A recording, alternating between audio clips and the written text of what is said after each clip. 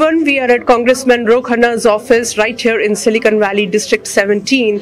And uh, we know that we get a rare chance to see him here because he's working for us all the time at Washington, D.C.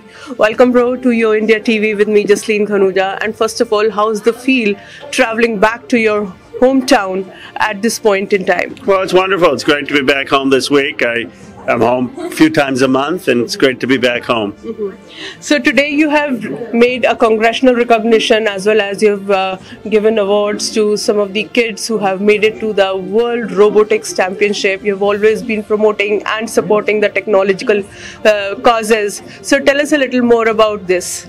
Well, we're very excited. We have a team here from our district, CD17, that won the entire championship, world championship, competing with teams from all over the world. They partnered with a team in South Dakota, so showing Silicon Valley partnering with South Dakota to be able to win. Very, very proud of them, and they're really uh, a model for our state and for our country. That's wonderful.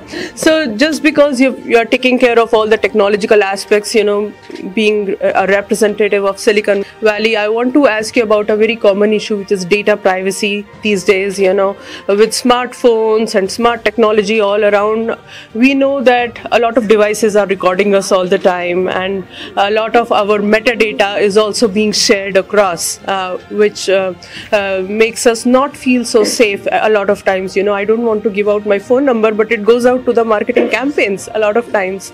So, what are you thinking on on these lines to prevent this uh, and making people feel safer? Well, I proposed the Internet Bill of Rights. Mm-hmm. Speaker Pelosi had asked me to do it, and that says you should have the right to your own data. Mm-hmm. You should have to consent before giving that data, and we need to pass privacy laws and the Internet Bill of Rights. And I've been active in trying to get that done.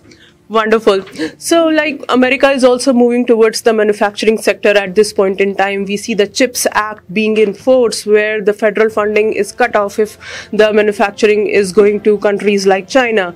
Now, well, uh, since we are, we are here India TV and we are a little bit focused on India, we see some opportunity here for uh, Indians back in India as well. But what's your overall take on the advancement of manufacturing here in the US of A? I was proud to draft the Chips and Science Act that the president uh, uh, signed, and we need to bring production back, and we're bringing production back for semiconductors mm-hmm. uh, with Intel in Ohio. We're bringing uh, science and technology funding back, mm-hmm. and America needs to, to be a manufacturing superpower again. For all the division in our country, we're showing ourselves in the world that we can take on the biggest challenges. We can take on the special interest, and our democracy can deliver for the people of this country. That's why I'm confident that decades from now, people will look back at this week with all we've passed and all we've moved on that we met the moment at this inflection point in history.